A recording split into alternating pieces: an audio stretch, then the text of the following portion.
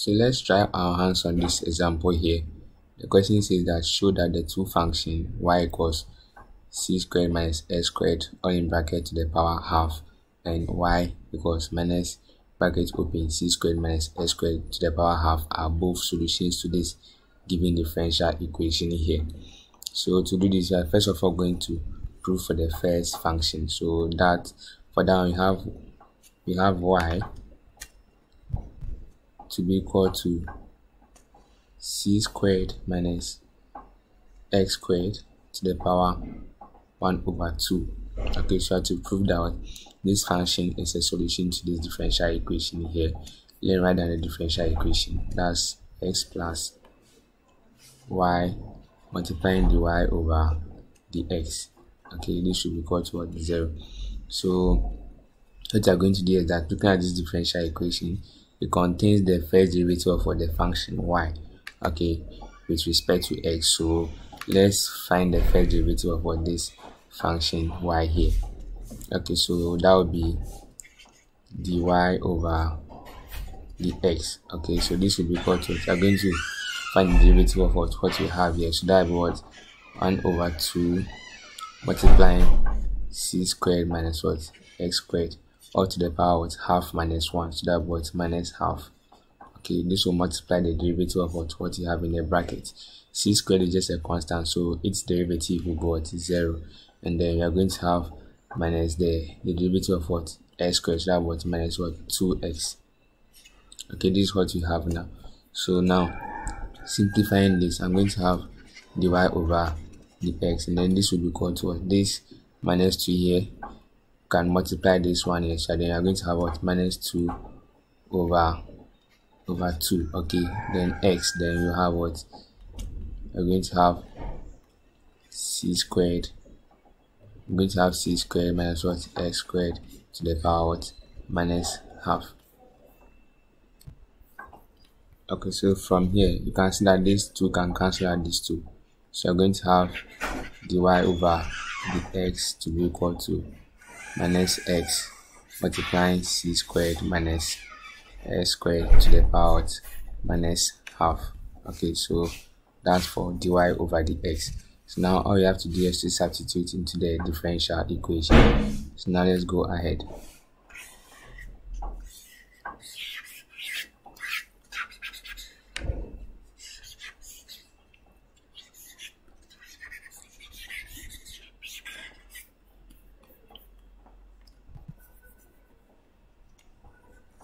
so let's take note of this.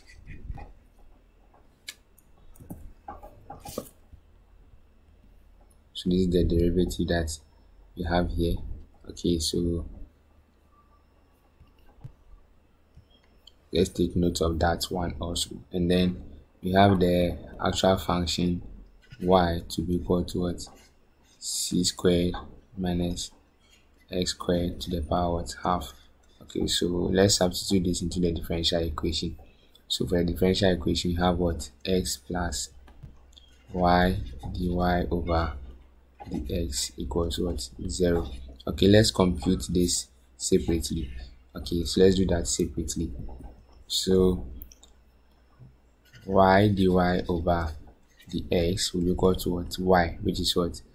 C squared minus what? X squared to the power what half right? Times what? Dy right? So that's what? Times minus x multiply with c squared minus x squared to the power what? Minus half. Okay so this is what we have now. This is what we have now. Okay so when we look at what we have here we can transform it right? So we can have y dy over dx to be equal to c squared minus what? X squared to the power half. Okay times minus x multiply what? 1 over what? C squared minus what? X squared to the power what? Half. Okay this is what we have now. Okay i just wrote this the other way since it is since it was raised to the power of negative half. So from here this half can this side can cancel out what we have here. So we are going to have y dy over dx to be equal to what? Minus x. So you just come and substitute into the differential equation here. So you're going to have what? x plus what? Minus x. And then this should be equal to a 0 then when you do this you're going to have x minus x and then that should be equal to a 0 so this tells us that what? This function here okay satisfy the given differential equation. You're going to do same for the second function also. So let's go ahead and then look at that also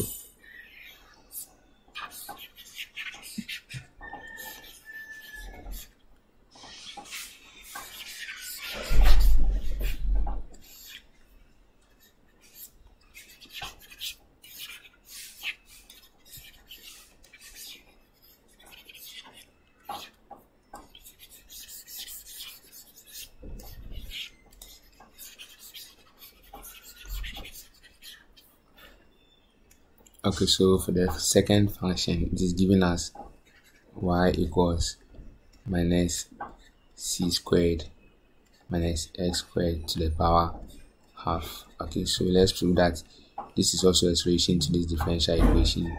x plus y dy over dx equals what? zero.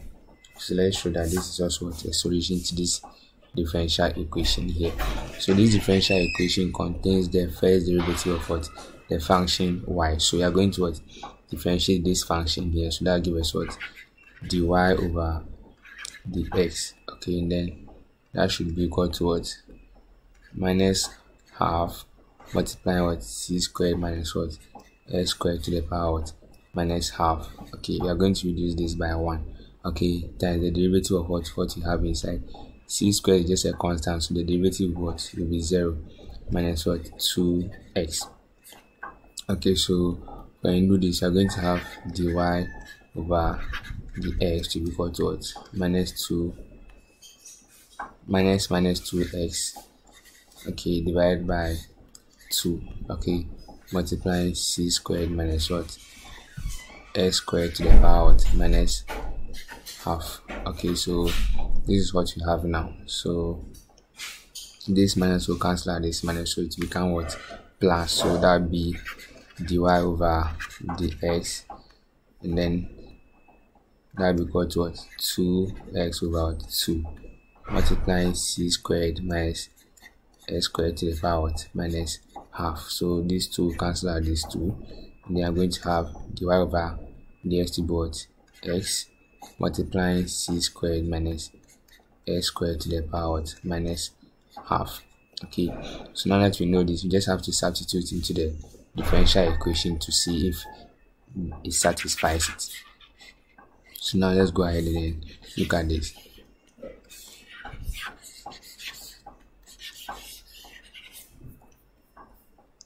Okay so we have the differential equation here. Okay we have this differential equation here. So First of all, I'm going to focus on y multiplying what its derivative. So that what? Y dy over what? dx. Let's compute this first. We know y to be what? Minus c squared minus what? X squared. X squared to the power what? Half. And then we know dy over dx to be x multiply what? C squared minus what? X squared to the power minus half. Okay so i'm going to rewrite what i have here. Okay so you're going to have y dy over dx to be equal to minus c squared minus what? x squared to the power half times what? x. Okay multiplying what? 1 over c squared minus x squared to the power 1 over 2 i wrote it this way because of what the negative sign here. Okay so let's take note of that. So when I do this. This will cancel out this in there, and then I'm going to have y divided over the x to be equal to what? Minus x. This is what we have now. So now let's come and substitute into this differential equation. So that what? X plus what? Y divided over the x. And then you know that is what? Minus x. So that what? X minus x.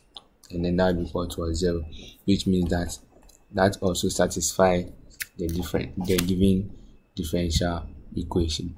So that's all for this lesson.